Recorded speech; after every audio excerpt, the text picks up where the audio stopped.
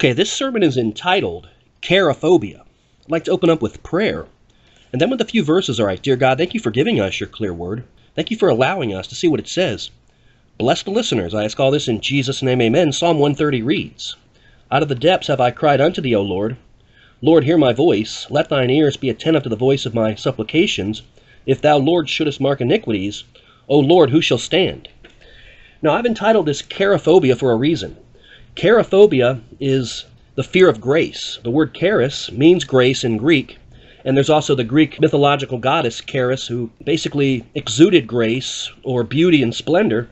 So I think this is a very theologically befitting term because there are people out there that hate grace, and it's because they're afraid of it. And there's a big difference between a normative fear and an actual phobia. We've all heard of phobias like agoraphobia, the fear of crowded spaces, and then there's arachnophobia, the fear of spiders, claustrophobia, the fear of confined spaces, and then there's acrophobia, the fear of heights, bibliophobia, the fear of books, ombrophobia, the fear of rain, pyrophobia, the fear of fire, and then there's hippopotomonstrosesquipedaliophobia, the fear of long words.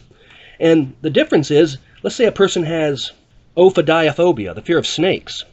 Well, this type of person would not even be able to be exposed to a rubber snake without totally freaking out and getting all apoplectic, corybantic, and histrionic.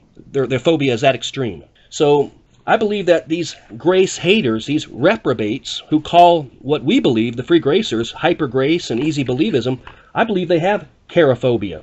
And what do they do about it? Well, nothing. They call us antinomians because they're going to hell, and I guess they have to have something insulting to say. Now, what is an antinomian? Antinomian simply means against the law. And when it comes to salvation, you have to be against the law because the Apostle Paul made it clear, you know, for by the works of the law shall no flesh be justified, and that we're saved by faith apart from the deeds of the law. But see, what these unsaved devils do is they try to say that we're antinomians in a practical sense, meaning that we have no fear of the law, we have no fear of consequences. We'll go out and violate the speed limit, commit such crimes as insurance fraud, identity theft, tax evasion, money laundering, ripping the tag off a mattress, whatever. And that's not the case at all.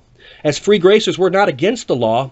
We just don't believe the law saves. So now, what I'm going to do about these stupid cowards is I'm going to play some jungle rot because they think that this is going to send them to hell. So go ahead and plug your ears. Here goes.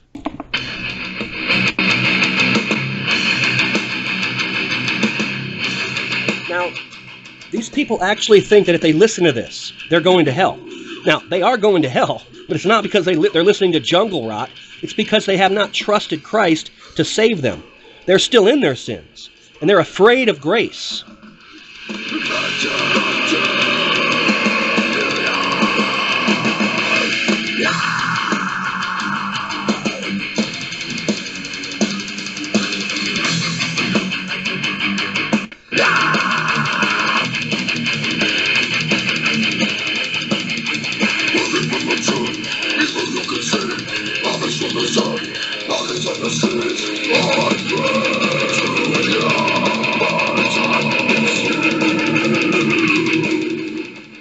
Anyway, the point is is that these people out there don't understand that grace abounds.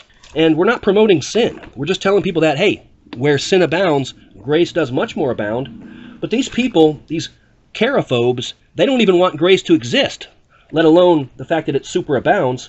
Turn over to Romans chapter 5. Let's take a look at verses 19 and 20, and it reads For as by one man's disobedience many were made sinners, so by the obedience of one shall many be made righteous.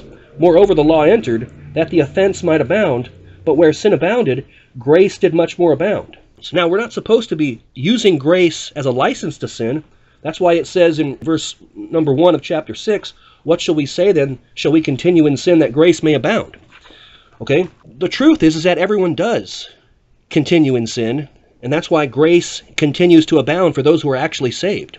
But as for these chariphobic, grace hating reprobates, they get no grace, and they can go to hell listening to jungle rot and whatever else they're doing because they're sinners too. And that's the thing they fail to understand is that they're sinners who need grace. The free gracers are just sinners saved by grace. Big Brobdingnagian difference. And the real difference between myself and one of these, you know, Calvinistic, Presbyterian, chariphobic losers is My sins have been paid for, and I'm heaven bound. Their sins have not been paid for. They reject grace, and they're hell bound. That's all I have. Let me go ahead and close in prayer. Dear God, thank you for giving us your clear word. Thank you for allowing us to see what it says. Bless the listeners. I ask all this in Jesus' name, amen.